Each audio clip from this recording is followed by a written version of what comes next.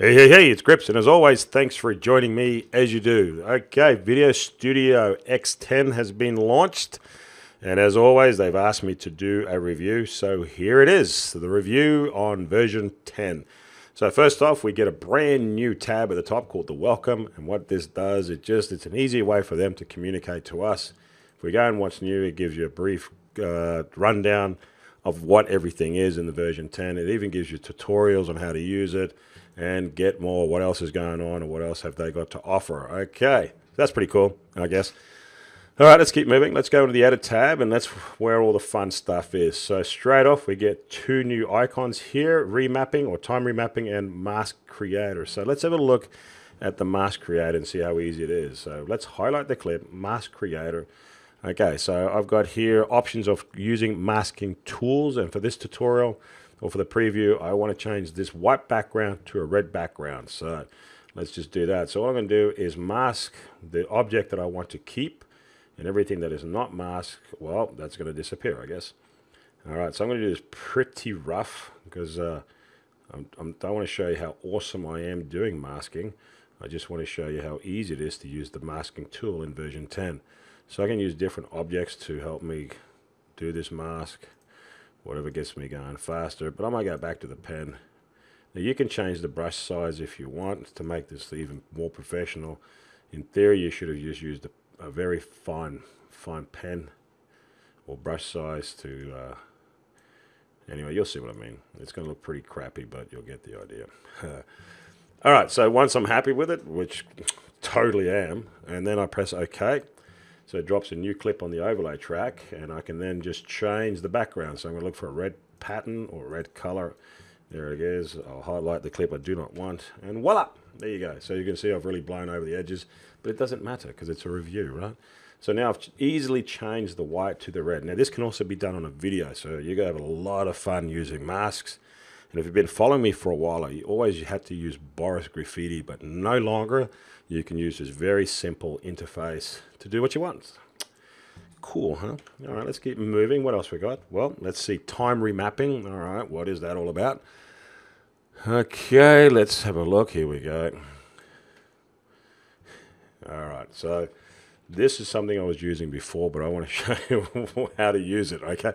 So highlight your clip. Now, if you go into the edit tools, they're all here. Uh, all your variable speeds are already here. And what they've done, they've just put it all together in one easy to use window. So here you go. See, you can increase or decrease the speed, ease in, out, freeze frame it, take a photo, whatever you want, and then you can play it. And then what it does here, wherever you decide to increase the speed or whatever, and then decrease the speed, it will just keep setting uh, keyframes for that. And once you're happy with that, you press OK. And then it changes your video speed at every point that you've made the adjustment. And it adds it up in here, as you can see now. So if I actually took that out and put that in, you'll see that now I've got three clips because I made three different sections. So the clip plays normal, the clip plays slow, the clip plays fast, and then if you wanted to, you can just adjust those individual clips again. So that's pretty cool if you ask me. It makes it so much easier to use or to do time remapping, right? Right, okay. Let's keep going. Let's see what else we got.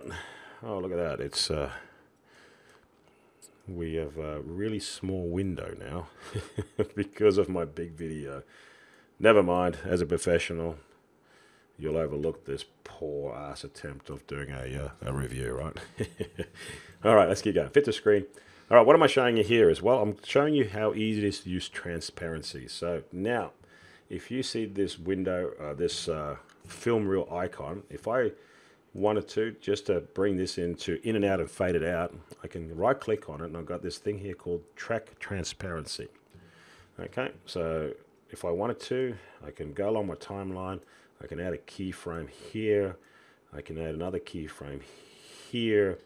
And then what I'm going to do, I'm going to add one in the middle. Now you got here 100 to 0. So I'm going to pull that right down to 0. And then if I play it, you'll see that one clip will fade in. And then the other clip comes out. And then back to the original clip. So I'm, I'm all, well, I've created a uh, crossfade, haven't I?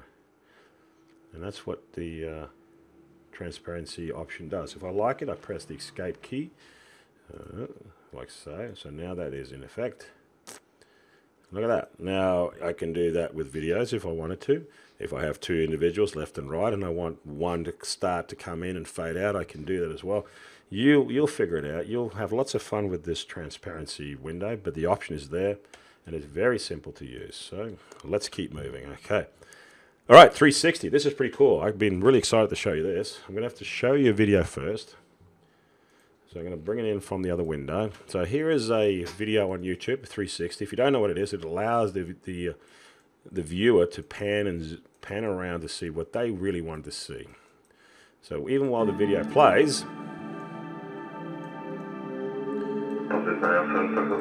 so here's just a, a, a demo of a plane taking off, right?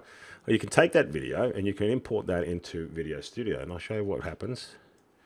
So here it is. I'm going to go to the part where the plane is. So it's going to look like this in your preview window, which is pretty weird, right?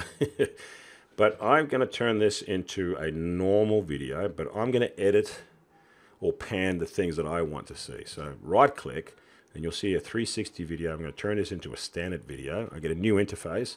So let's go along to the point where, so right now you'll see here's a mark. And if I move this mark to say this individual here, this co-pilot, now the focus is on him and if I wanted to, I can then move this back and then it's onto the pilot. I hope that's the pilot.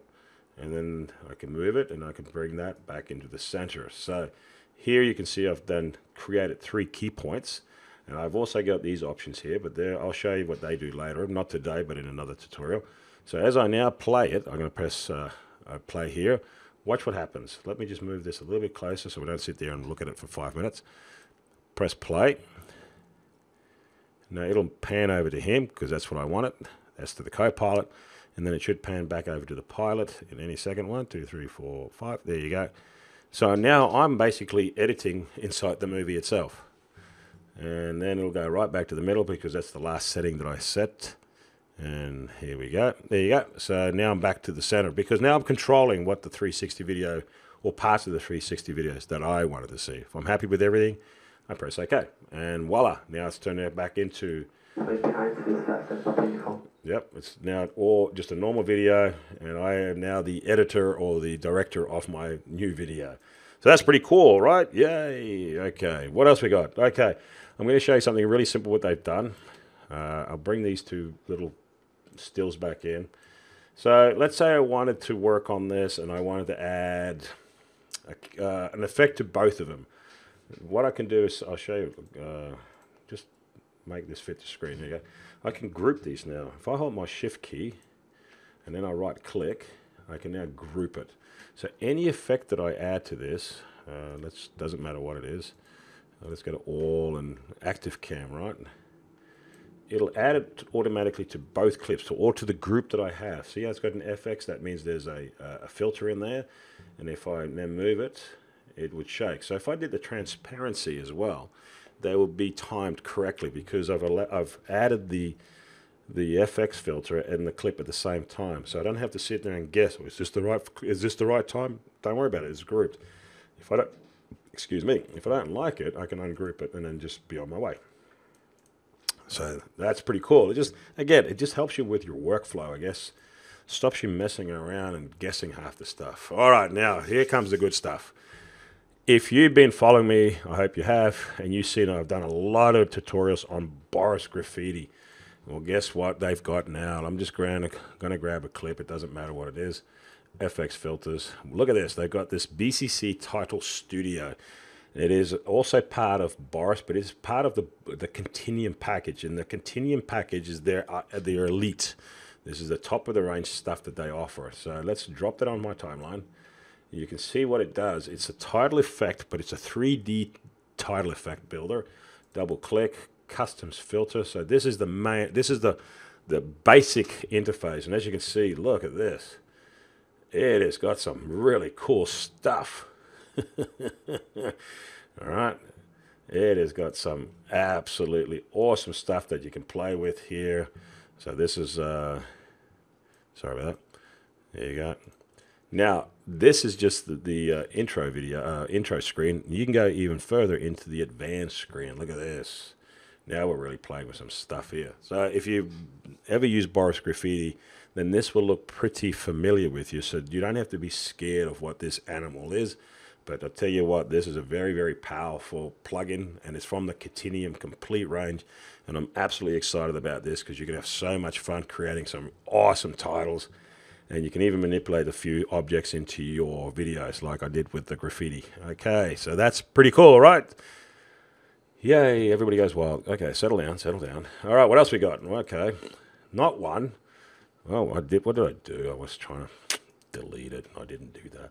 Not one, but they've gave you two title builders. Now this is the new blue titler from uh, Pro, and this is also a very, very cool, but super easy to use title builder here.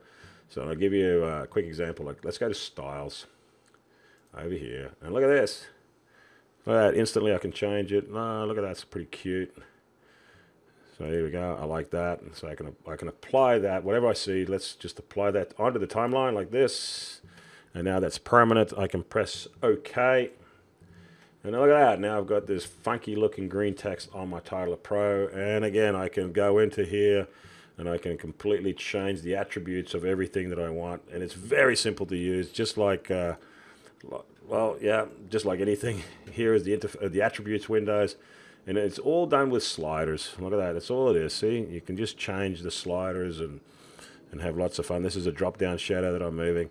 And again, I, I will show you how to use how to use this properly, and you can have a ton of fun with this. And, and again, you can be so creative in making some intros to your videos. Okay, let's press that. Pretty cool, huh? All right, so let's keep going. Now, I can't show you this, but uh, again, I will have to show you something else. Uh, Okay, so now they've got they've added a new codec here. Let me just bring this up here. High efficiency video coding. Okay, this one HEVC, and you're saying mm, right.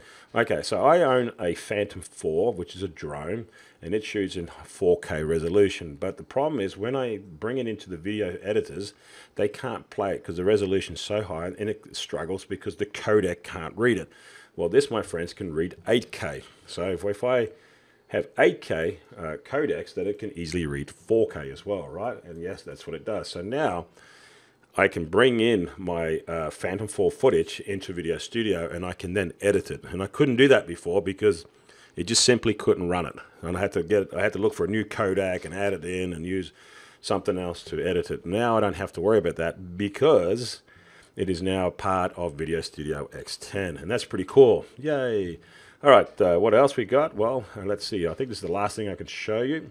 Score Fitter, which is here. So what's Score Fitter? Well, if you use here the auto music, then you can add any ambient classical music that you want. You can then add it to your timeline, which then fits it perfectly to the length of your clip. And that's pretty cool. So what they've just done is increase the library to give you a lot more to work with.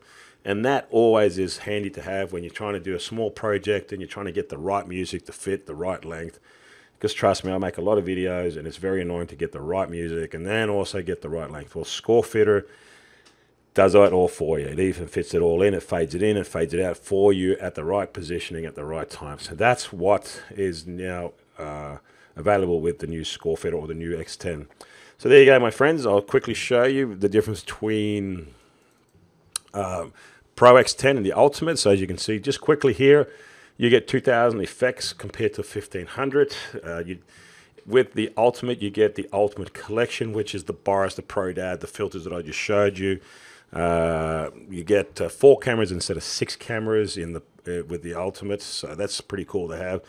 There's not a huge difference between version of the Ultimate and the Pro, but if you want those really cool filters that I just showed you, then I think it's definitely worth it just for the few different dollars that it costs between the Ultimate and Pro to go for it and get way more effects, and therefore you have way more crea creativity at your fingertips. So there you go, my friends. I, I'm pretty sure I've probably left out a whole plethora of other new features, but I've covered the main ones, and that's what we're all interested in. So there you go.